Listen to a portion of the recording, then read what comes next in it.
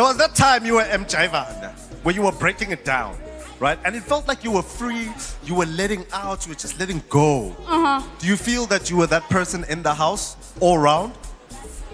Uh, some of the times, because when I was there, it's the conversations. I just didn't want to engage in those conversations, so I'd rather be by myself and go sleep because I was like, ah, this is not building me in any case. So, yeah. So we want to hear from you. South Africa wants to know. You and Neo, was that a real thing? though? 100%, man. It was real. Our first kiss settled it for me. It was our first kiss. Tungisani, Tungisani, Yeah. siyashadisa Big Brother. So that was the real thing. Yeah, yeah. I'm excited to see you after this. So there's no need for me to ask you how you're feeling. Then.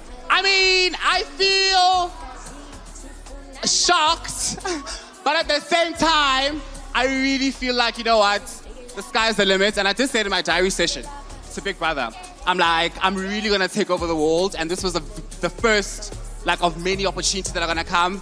And I'm feeling amazing. I get to see you, so I'm glad I get to see you.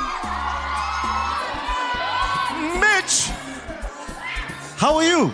I'm good, my bro. How are you? Are you really good, bro? I'm shocked, dog, but it's live. What can we say?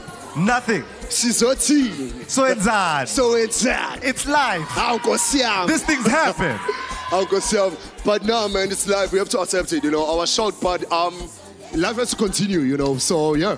You know And ubani okwambona ophumelelile owine eBig Brother so kuzobe kuqala ngami ongakawini na Hallelujah. Yeah,